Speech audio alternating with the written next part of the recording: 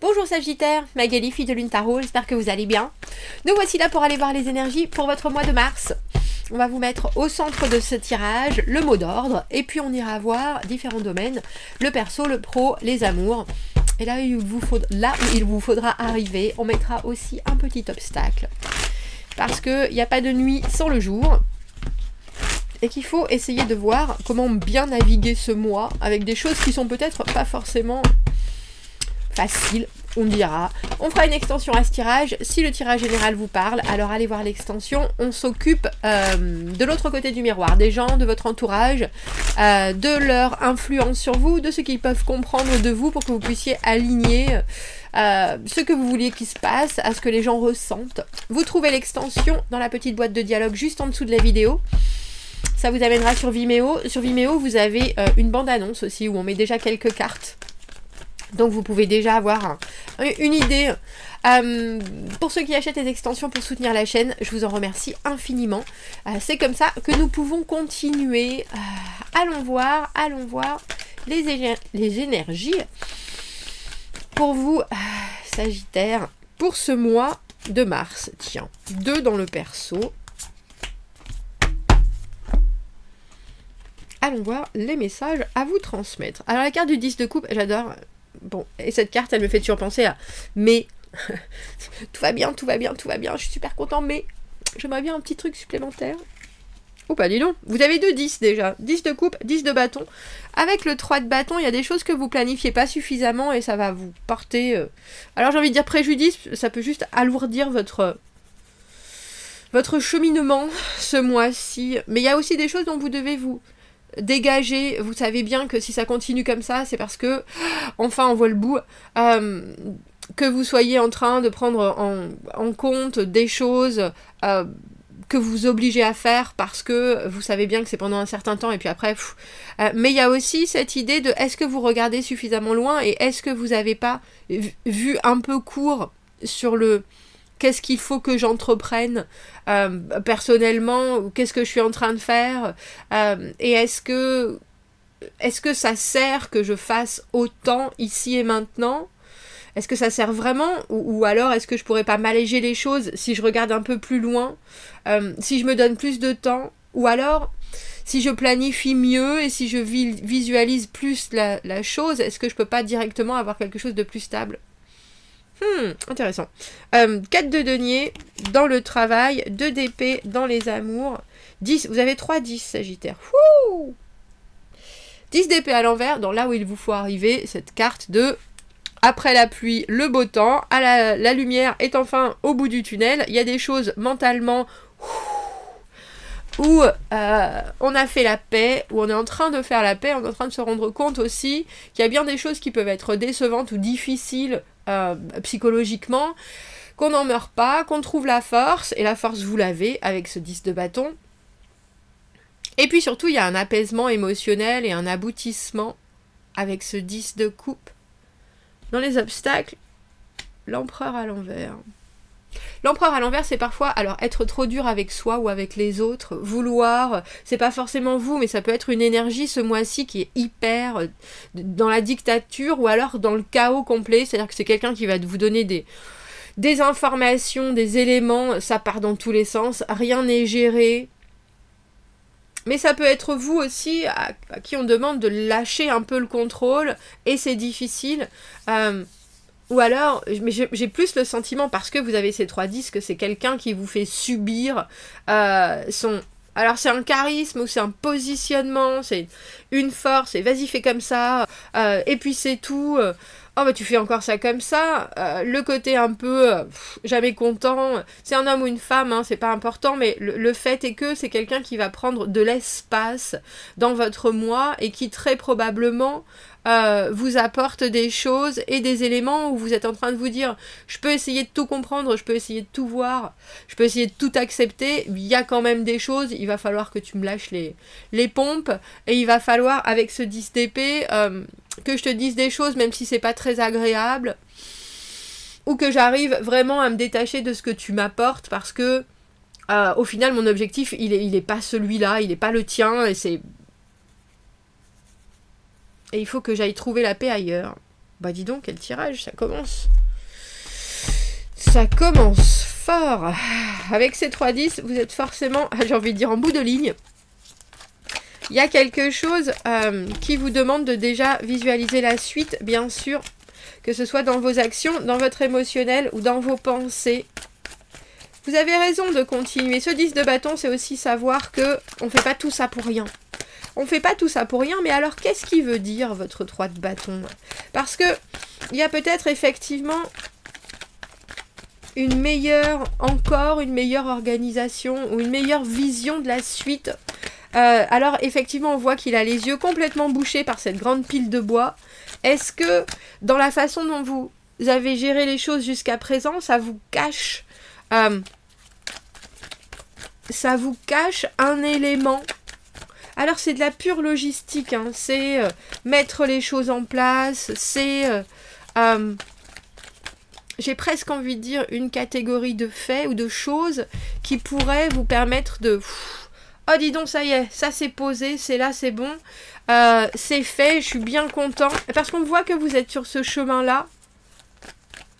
Mais c'est drôle, on a l'impression qu'il y a quelque chose qui vous cache la vue, qui vous bouche la vue. Comme si vous aviez des lunettes qui n'étaient pas appropriées à votre, à votre myopie, ou que vous portiez des, lunettes beaucoup trop sombres euh, alors que vous êtes à l'intérieur. Regardez, avec ce mât, il y a un élément, quand je vous ai dit fin de cycle, là on repart à zéro. Hein. Le mât, première carte du, tarot pour moi. Se jeter dans l'inconnu en n'ayant pas d'attente et en se disant c'est une expérience à vivre. Peut-être que vous vous forcez encore à continuer à faire quelque chose et du coup vous fermez une porte. Alors que là, il y a un élément de spontanéité, il y a un élément... Alors bien sûr, l'empereur à l'envers, pour moi aussi, le patriarcat, ou en tout cas tout ce que les, la société veut nous faire faire. Parce qu'on est une femme, on doit faire ça. Parce qu'on est un homme, on doit être comme ça. Euh, parce qu'on est... Euh, on a cet âge-là, on n'a pas le droit de faire ça et ça et ça. Et là, il y a quelque chose dans votre moi Sagittaire, surtout avec Soma, qui vous dit, euh, mais si vous tentez, qu'est-ce qui va vous arriver? Au plus pire, rien. au mieux, une nouvelle expérience. Il y a quelque chose de toute façon où le mât a tellement la foi qu'il sait qu'il va retomber sur ses pieds. Donc, s'il y a des nouvelles choses qui se proposent à vous, allez-y, n'hésitez pas. Ou si vous savez que vous devez aller taper à telle porte pour justement pouvoir continuer à voir la suite, ça sera plus facile, allez-y. Allez-y. Prenez le courage, sautez dans le vide. Regardez cette belle lumière qui l'attend au bout de son voyage. Vous voyez Il n'y a pas à avoir peur. Sagittaire, il n'y a pas à avoir peur. Alors on voit au niveau pro, avec ce 4 de denier, c'est vraiment, là pour le coup, on me fait penser à une araignée, mais c'est vraiment la protection. Hein. La protection, voilà tout ce que j'ai amassé. Alors bien sûr, on épargne, on épargne, on épargne. Euh, vous avez des bases qui sont celles qu'elles sont. Vous avez travaillé depuis à, vous, à vous poser justement. Euh, tout est bien placé, tout a été considéré, chacun a apporté sa, part et ça paye, ça paye, ça paye, ça paye. Il n'y a pas de doute ce mois de mars. Euh, mais il y a un moment aussi où le 4 de denier, on peut avoir l'air un peu, hmm, un peu fermé pour pas bah, perdre ce qu'on a difficilement amassé. C'est pas difficilement, mais c'est on a peut-être longuement amassé. Et il y a un moment où il va falloir investir à nouveau sans savoir sans savoir si ça, je vois bien, si ça va payer ou pas. Et il y a quelqu'un là qui est en train, alors roi de, euh, j'allais dire roi de denier à l'envers, empereur à l'envers, ça peut tout à fait être dans les obstacles, ça peut tout à fait être quelqu'un qui vous dit oh, mais tu vas pas essayer ça, es fou, tu vas perdre. Regarde, regarde euh, euh, Samantha, Sophie, Paul, ils ont essayé, ça n'a pas marché. Il y a un côté Calimero dans la carte du 5 de denier, mais il y a aussi les, les expériences, ça marche ou ça marche pas il y a un moment où il faut sortir de sa routine, il faut sortir de sa zone de confort. Alors, il y a quelqu'un, je pense, qui peut faire un peu l'avocat du diable avec cette carte de denier en vous apportant, alors j'ai envie de dire de la peur, ou en vous apportant son côté, oh ben oui, mais moi j'ai essayé, ça n'a pas marché, comme si vous vouliez pas avoir une promotion, ou alors euh, demander quelque chose qui, qui, qui assoit vraiment vos, vos compétences professionnelles, et puis vous avez un collègue qui dit, ah mais moi j'ai essayé, s'ils n'ont pas voulu. Bah oui, mais si, peut-être que. Enfin, on pas. Toi, t'es pas moi, déjà. Euh, Et ça peut être quelqu'un qui est plus, euh, plus haut que vous et qui vous fait part, de son expérience, mais c'est une expérience où cette personne, bah, elle reste dans des, dans des échecs et elle s'y complaît. Alors que vous, vous êtes sur une pente ascendante, ascendante, on le voit bien, Sagittaire. Et là, pour le coup, il y a vraiment une idée de qui ne tente rien n'a rien. Clairement. Alors, il peut y avoir des choses où vous allez tenter, appuyer sur tel bouton, ça va pas marcher, et vous allez être là, oh mais c'est pas vrai, mon dieu, mon dieu, mon dieu, mon dieu, mon dieu. Avec ce 10 d'épée, cette, euh, ces méandres, euh, cette douleur, elle passe vite. Elle passe vite. 10 de coupe, il y a quelqu'un, alors c'est drôle parce que cette papesse, pour moi, au niveau professionnel, j'ai toujours le sentiment qu'il y a quelqu'un qui vous observe qu'il y a quelqu'un qui prend note de ce que vous essayez, qui se renseigne. Il y a quelqu'un qui a aussi beaucoup de connaissances et euh, alors ça veut dire autant de connaissances pro ou, financières ou de connaissances du business, du, euh, euh, de la façon dont les gens se, se, comportent entre eux, etc. Et cette personne, elle veut vous dire des choses. Alors cette personne, elle, peut, elle veut vous dire aussi, va dans ce sens-là et pas dans ce sens-là. Si tu vas dans ce sens-là, écoute mon expérience, ça pourrait, ou écoute le, ce que je sais, ça, ça, risque de pas t'apporter ce que tu veux. Mais par contre, si tu fais euh, ça avec, alors j'ai presque, c'est drôle, j'ai envie de dire presque, avec modestie. Si tu tentes en disant j'ai rien à perdre, alors là tu vas voir, c'est bingo. Les boss, ils adorent ça, les clients, ils adorent ça, la banquière, elle adore ça. Il y a un côté avec ce 10 de coupe où euh, ça peut pas rater. Et même si ça t'apporte pas exactement ce que tu veux, tu verras que le relationnel que tu vas élaborer ensuite avec, il sera merveilleux.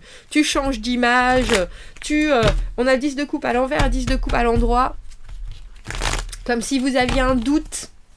Et c'est un doute, je pense, avec cet empereur à l'envers qui est vraiment là pour... Euh, c'est drôle, j'ai presque envie de dire, comme si vous entendiez quelqu'un qui dit oh, mais non mais t'as pas droit à ça. Oh mais non mais oui mais si, ça dure là ça durera pas pour toute la vie. Cette espèce de petite voix, euh, je pense contre laquelle vous allez devoir lutter. Hmm. J'aime bien cette carte parce que l'as de bâton justement pour lutter contre l'empereur, euh, c'est faire des essais. C'est se dire, c'est la carte de l'ouverture, euh, l'étincelle, le, le geste qu'on fait, qu'on n'a pas l'habitude de faire. Si vous êtes, je ne sais pas, vous, êtes... Euh, votre routine du matin, vous savez que vous vous retrouvez tous les, tous les jours dans le dans l'ascenseur ou dans le bus, dans le métro, bref, avec telle personne et vous ne lui parlez jamais. Elle est dans un autre service, elle est plus gradée euh, ou moins. Et là, ce jour-là, bam, euh, il se passe quelque chose, on discute et là, on ouvre une porte. Et je pense qu'il y a quelque chose ce mois-ci pour vous qui vous demande vraiment euh, de faire des choses dont vous n'avez pas l'habitude. Et de saisir des opportunités que vous trouvez peut-être euh, futiles aussi. Et pourtant, c'est ça qui va produire un effet... Euh, alors, effet boule de neige, effet domino. Il y a vraiment... et il y a quelqu'un professionnellement ou financièrement qui vous dit Oh, cette personne, faut pas que tu l'écoutes. T'inquiète pas, moi je sais. Et puis je te vois, je te connais, je vois comment tu fonctionnes. Euh, je t'ai à l'œil. Et je sais, et voilà ce dont toi tu dois t'enrichir pour que ça fonctionne. Et émotionnellement, on voit bien, relationnellement, amicalement, qu'il y a quelque chose qui, euh, produit du plaisir illico. Bah dis donc, j'avais pas vu que cette carte du chariot était tombée sur le 10 d'épée. Alors, là où il faudra arriver, n'hésitez pas à bouger aussi. Alors, le chariot, le, fait qu'on comprenne qu'il y a certaines choses qui sont complètement euh, contrôlables autour. Et il y a peut-être des choses que vous laissez en suspens en vous disant je pourrais rien y changer. Mais en fait, des fois, une attitude, ça change beaucoup de choses. Euh, et là, on a l'impression que vous avez une maîtrise ce mois-ci. Alors c'est drôle c'est autant de votre mental et de votre capacité à regarder les choses un peu oh, euh, que du coup de, l'impact que ça va avoir sur les gens. Roi de coupe à l'envers, ne vous laissez pas... Euh, alors j'ai envie de dire... Euh, le roi de coupe à l'envers, il a tendance à, faire trop, à vouloir trop faire plaisir. Et, euh, et là, il y a quelque chose avec un émotionnel que vous devez avoir disponible, mais en même temps, ne pas rentrer dans une empathie absolue, avoir du raisonnement avant et, comprendre que euh, certaines choses vont être productives, certaines choses vont se concrétiser, et de toute façon, euh, faites attention aux gens qui vous recherchent pour... alors c'est drôle, j'ai envie de dire pour le plaisir ou pour la pour la facilité, parce que notre roi de coupe à l'envers, c'est un codépendant. C'est quelqu'un qui va dire tout et n'importe quoi euh, pour que vous restiez dans cette situation avec ce cadre de denier, ou si c'est un de vos collègues, ou si c'est quelqu'un qui est dans votre famille, ils vous disent mais non, non, n'essaye pas ça, t'es fou, regarde, regarde, comme ça ça marche très bien, comme ça ça marche très bien, comme ça ça marche très bien. Et en fait, on a cette papesse qui est là, mm, mm. vas-y, vas-y, tu peux faire, tu peux faire encore plus. Vas-y, tu peux. Euh, et ça, sans forcément aller dans le sens, j'ai envie de dire du lèche-bot, mais non, mais de cet empereur à l'envers qui peut dire, ah bah de toute façon, euh, ça fait 10 ans que je suis dans cette boîte, cette personne n'a jamais adressé la parole, alors qu'en fait elle est juste timide. Vous voyez ce que je veux dire? Ou elle est juste dans sa tête. Euh, ne mettez pas des étiquettes et essayez des choses plutôt. Au niveau de vos amours, 2 DP, on a le sentiment qu'il y a une décision qui est très très très dure à faire. Des propositions qui sont là, ah bah dis donc, deux fois ce 10 d'épée. Et euh, alors je sais pas si c'est un recommencement ou euh, une nouvelle perspective sur des choses qui ont pu être décevantes par rapport à quelqu'un. En tout cas,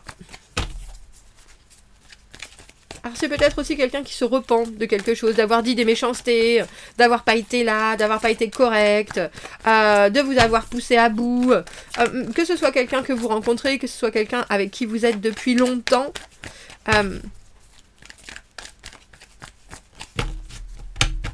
On a l'impression que maintenant vous êtes sur la même longueur d'onde. Et que là, pour le coup, surtout avec cet as de bâton, vous devez redonner une chance. Redonner une chance à vous, redonner une chance à la, relation, redonner une chance à que ça existe ou que ce soit dans vos pensées. Euh, il y a quelque chose, Sagittaire, avec la capacité que vous avez, comme je vous le dis maintenant, à voir les choses et à vous dire, ça, je suis en contrôle, il n'y aura pas de problème. Qu'est-ce qu'on rajoute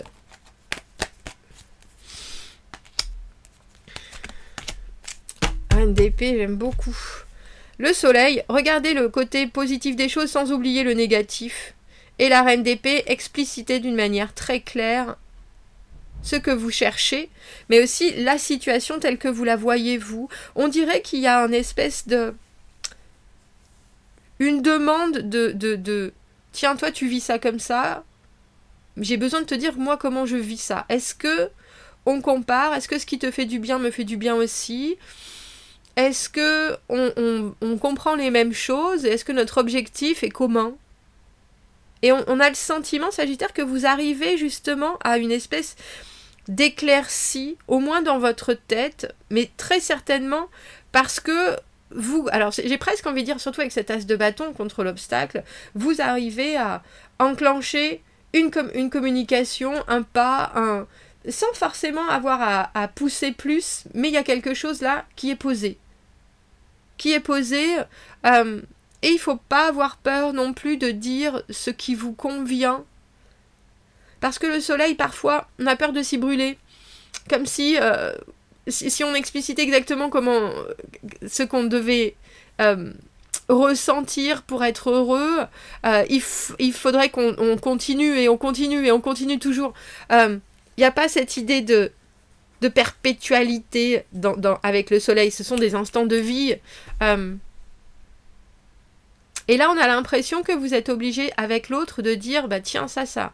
Ça, c'était super. Regarde, ça, c'était super. Ça, c'était super. Bon, ça, c'était vachement moins bien. Bon, ça, effectivement, on va pas le refaire. Non, ça, c'est pas la peine. On a l'impression que vous conscientisez ce qui peut faire que euh, les choses vous font aller à droite ou à gauche, l'un comme l'autre, l'une comme l'autre. Ah. Est-ce que qu'est-ce qu'on vous conseille amoureusement Sagittaire ce mois-ci? On voit bien qu'il y a des décisions qui sont très difficiles à prendre, mais que si vous regardez les choses honnêtement, il y a aussi un vrai bonheur et le vrai bonheur, il est, il, est complètement... Euh, vous pouvez modifier, vous pouvez toujours euh, perfectionner, vous pouvez toujours apporter des choses. Mais si vous êtes sincère et si vous êtes honnête avec vos objectifs et sur la, sur la longévité, qu'est-ce que vous... Vous savez que vous êtes capable de, de, perpétrer? Hmm, cette d'épée. Votre, votre... Si vous avez des objectifs personnels, il y a une idée d'être stratégique et je pense que c'est sur le comment et le quand. Parce que vous avez quelqu'un qui est 10 d'épée comme vous. Donc qui vient avec un bagage de souffrance, de mental, qui, peut être un peu fatigué et qui recherche effectivement la paix, la douceur, la lumière à nouveau, qui est en train de se pencher sur toute la positivité des choses, même si on a toujours du bagage.